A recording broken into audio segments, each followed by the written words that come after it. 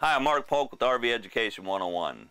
When your RV gets a little aged, there are lots of simple and inexpensive and fun upgrades you can make to keep it looking new and up to date.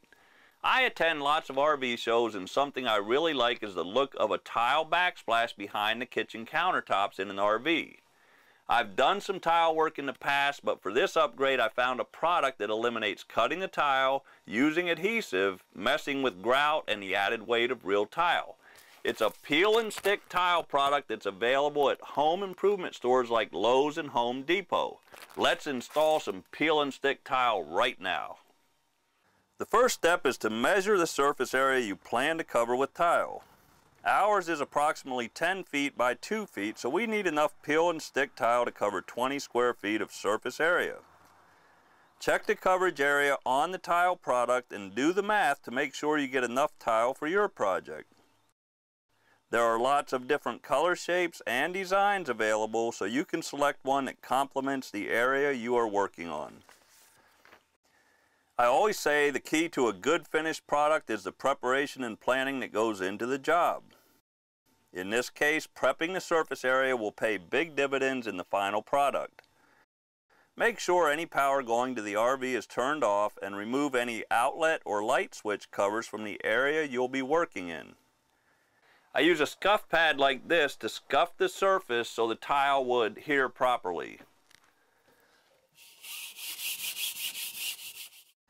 Next, clean the surface area with a wet sponge or rag and a degreasing agent and let dry.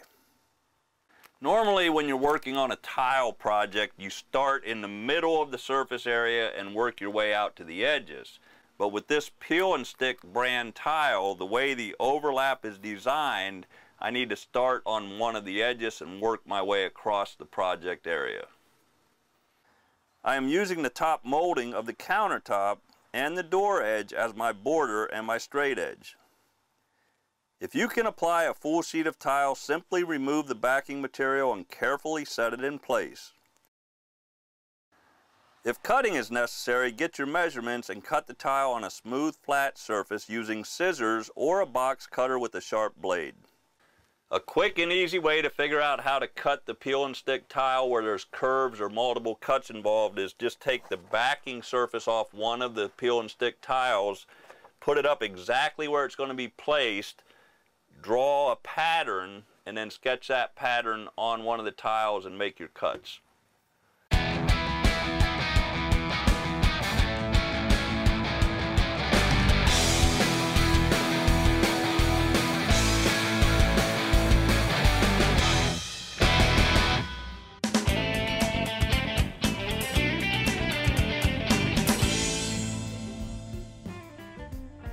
Adding a tile backsplash to your RV is a fun project and a simple design solution to update the look of your RV.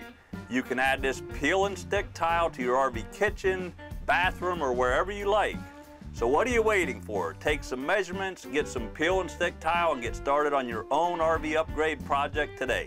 Happy camping.